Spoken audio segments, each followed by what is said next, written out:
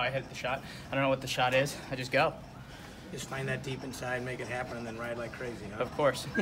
It's going to be a Princeton versus Lock Haven battle. You don't see that too much in the Yeah. semifinals at the NCAA tournament. You know, both you guys' programs have been on the rise. Mm-hmm. Princeton has gone from scoring zero points in the EIWAs to a record point totals last year. I mean, how's important for, for schools like you to get guys to here? I mean, this is what we- we've been working for since Coach Harris joined the coaching staff and came on as a head coach. And, you know, my brother, he was one of Coach Harris's uh, recruits. He was one of Coach Harris's athletes. And the programs just come miles from there.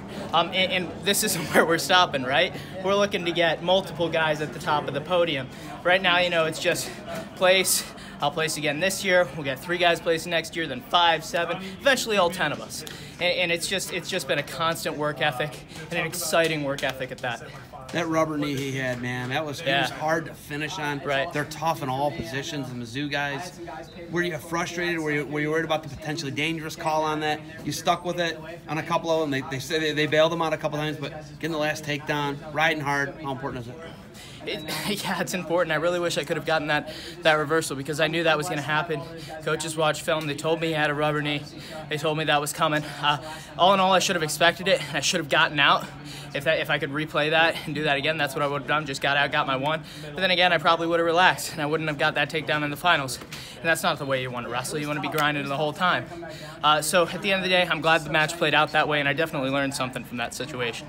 How crazy is he You can just let it fly tonight. You know, Yeah. Sorensen's got knocked off. You got Perry who's talking directly to your right right now. I mean, this is gonna be awesome. Oh, These yeah. are two schools that are not traditional powers, right? Going at it. Not everybody had you guys penciled into the semis. I'm not gonna lie to you, right? But you know, what's that like? The pressure's off for you. You're all American again. You want that national title. Oh yeah. What's it gonna be like tonight for you? It's gonna be fun. Yeah, I, nobody wants to wrestle with a ball of nerves. Uh, and, and, you know, I've wrestled like that before. It just sucks. And I'm out here to have a good time. I mean, look at this crowd. This is incredible. In my home state, I'm originally from Ohio before I went to Blair. Um, it, it's incredible. My mom's whole family's out here. They're from the, this part of Cleveland. Um, I'm just pumped, man. I'm just pumped. You know, I'm an Ohio guy. You're Oh, I know, I We've know. been talking since you were a little guy, right? Yeah. Uh, I mean, this is gonna. I remember epic you, junior high states. right? Yeah. It's crazy though to look at your development up. You know, you went to Miami Valley Day Country School for Mm-hmm. a year. You're an Ohio State champ, prep national champ for Blair. Mm-hmm. I mean, it's incredible.